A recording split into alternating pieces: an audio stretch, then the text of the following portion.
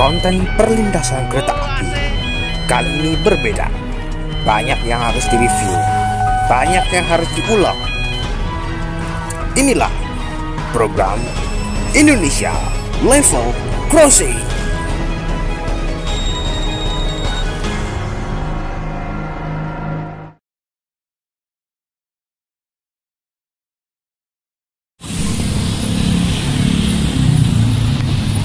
Mari kita tunggu kereta yang lewat. DPL ini paling unik ya. di mana tuh di sini ya, di JPL 194A itu tidak ada rambu, tidak ada lampu. Sementara di JPL sebelahnya 194 itu ada rambunya tapi nggak ada palang. Karena memang uh, dia bikin satu arah setelah ada flyover gitu. Ini gue yakin dulu JPL Pantura dulu macet banget ini sebelum sebelum ada flyover ini sekarang udah ada flyover jadi satu arah. Sebenarnya dibikin satu arah itu karena uh, buat yang mau ke Bekasi tapi ingin untuk hindari simpang Jomin.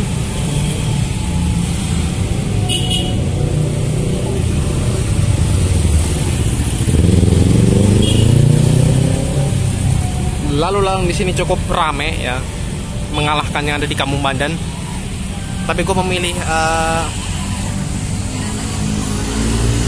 gue memilih rekam di sini apa rekam di? Rekam di posisi ini karena uh, posisi sebelah sana tuh agak ribet ya. Agak ribet cuy. Area pasar soalnya tuh. Ini gue udah nunggu 2 menit.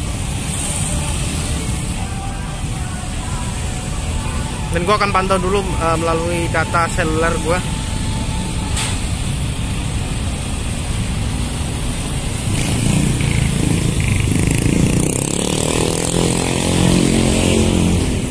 dan gue mulai kepanasan lagi nih cuy aduh ini malam-malam gimana ya?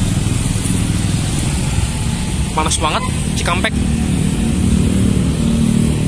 Apalagi Bekasi ya Bekasi lebih panas lagi. Nah nutup nutup nutup. Oh malah. Nah nutup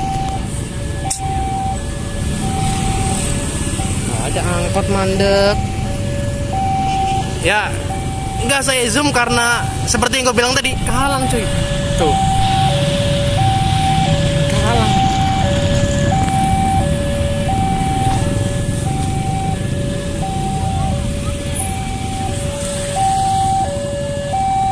Tuh palang cuma nutup separuh doang. Di sebelah sana nggak nutup itu cuy. Nggak kena. Jadi ya udah ngandelin alarm aja itu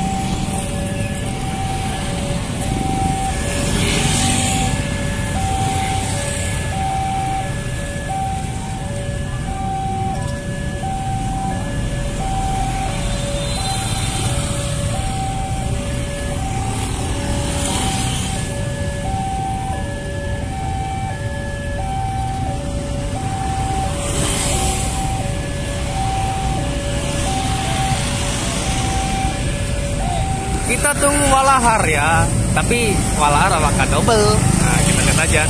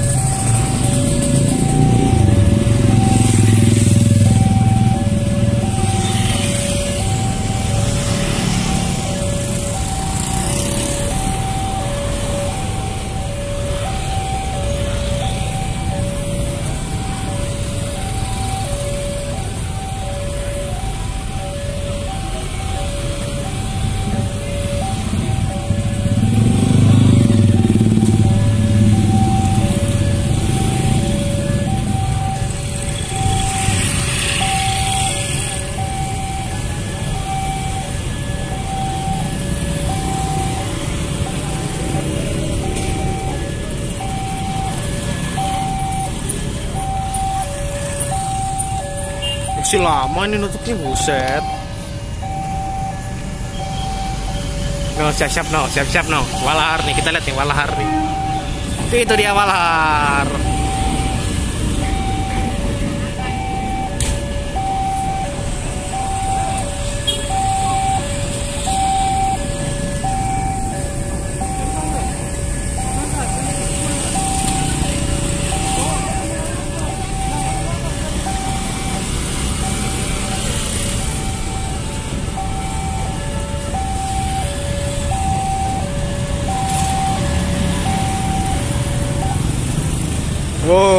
Bukan.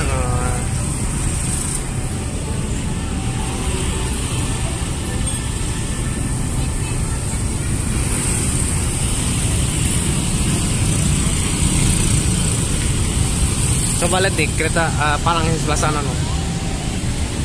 Oh, no baru naik no. Haha, baru naik palangnya. Ya udah deh, ya. Karena katanya kosong habis ini.